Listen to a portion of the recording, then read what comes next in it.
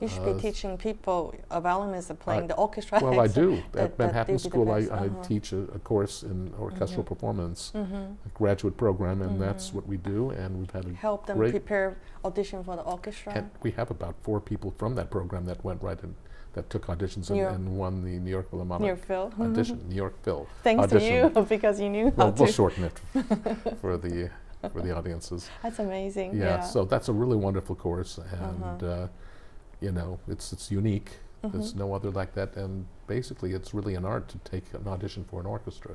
Just because you can, can play a concerto beautifully doesn't mean you can get an orchestral job Because it's totally different. Fifty percent of the audition is learning how to play those excerpts, totally unlike you would as a soloist. So uh, this is unique, and uh, you know, let's face it, not everybody's going to be a soloist when they graduate from a Juilliard or Curtis or Mhm. wherever. They have So to. They have to be do? able to make a so living. what should they do? This, the what one they should do is either become soloists if they can, which if is rare. not, then If not, most people sit down. get prepare orchestral jobs either for as orchestra. yeah, and it's it's very tough. It's more we steady. just had auditions for we had five openings in our orchestra for violin, and we had over a hundred people who tried to get the position, and we didn't get one finalist. So we had not not one, not one. There was no finalist. So that just shows you we had really wonderful violinists, but they didn't know how to play the excerpts. So obviously the conservatories are not doing enough, or nor the universities to really educate their so-called solo talents how to also play in an orchestra. I know that I was one of those people when I got the job in Los Angeles.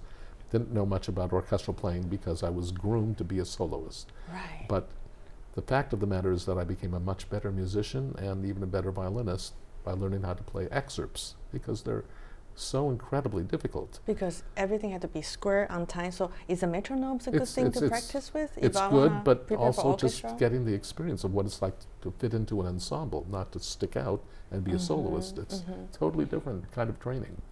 And, Very and it teaches you control, how to play extremely quietly, rhythmically, and that's sort of an, an art that is not too uh, too known these yeah, days no one, by the no one teaches that when, Well, I, I mean, young, you know. no I one wish, teaches it. I wish somebody teach me. Say, oh, how do you sit down, prepare, and do a better score? But yeah, I mean audition that's that's the problem. It's the education. So everybody thinks they're going to be great soloists, and uh, you can even be a great soloist, but not be lucky enough to be hired as a soloist. It takes not even winning competitions doesn't guarantee you that right. anymore. That's right. I know that if you can name the last few winners of the Tchaikovsky competition, uh, I'd be hard pressed to know one name from there because they don't you don't have careers instantaneously like they used to. Exactly. Gone are the days of the Van Cliburns and uh, this kind of you know it just it's not that kind of an era. Mhm. So now people have to understand that when you graduate after six years of college or, or university, Mhm. you have to know that how am I going to feed myself? And uh, we have still wonderful orchestras throughout the United States and Europe and Asia, and they should people should know how to be able to play those orchestral excerpts.